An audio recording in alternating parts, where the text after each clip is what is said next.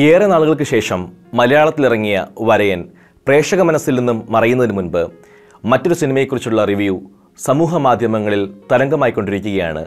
പന്ത്രണ്ട്.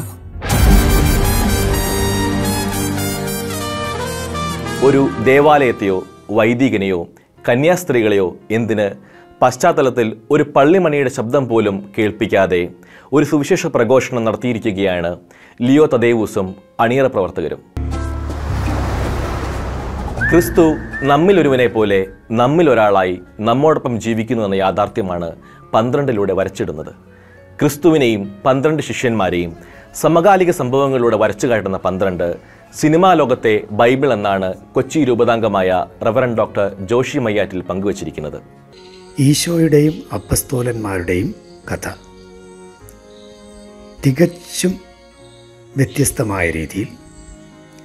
എന്നാൽ സമകാലികമായ രീതിയിൽ വലിയ പ്രസക്തിയോടെ ഇന്നത്തെ മനുഷ്യന്റെ ജീവിത സാഹചര്യങ്ങളെ കൃത്യമായി ചൂണ്ടിക്കാണിച്ചുകൊണ്ട് ഈശോയെയും അപ്പസ്തോലന്മാരെയും അവതരിപ്പിക്കുന്ന ഈ സിനിമ. ഇത് സത്യത്തിൽ സിനിമാ ലോകത്തെ ഒരു ബൈബിളാണ്. സിനിമയിലുടനീളം കടലൊരു കഥാപാത്രമാകുന്നുവെന്നതാണ് മറ്റൊരു പ്രത്യേകത.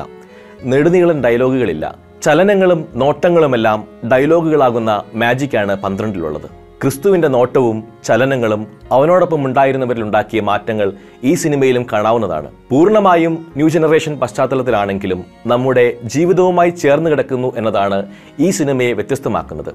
ആസ്വാദകർ കുറിക്കുന്നത് പോലെ ആരെയും വിമർശിക്കാതെ ആരെയും ശത്രുവാക്കാതെ സിനിമ എന്ന കലയെ അതിന്റെ സാധ്യതകൾ പരമാവധി ഉപയോഗിച്ച് ക്രിസ്തുവിനെ ലോകത്തിന് പരിചയപ്പെടുത്തുകയാണ് പന്ത്രണ്ടിലൂടെ. ആധുനിക ലോകത്തിൽ സുവിശേഷം നൽകാവുന്ന ഏറ്റവും നല്ല ഇടം ആളുകൾ ആയിരിക്കുന്നിടത്തേക്ക് ഇറങ്ങിച്ചെല്ലുക എന്നതാണ്.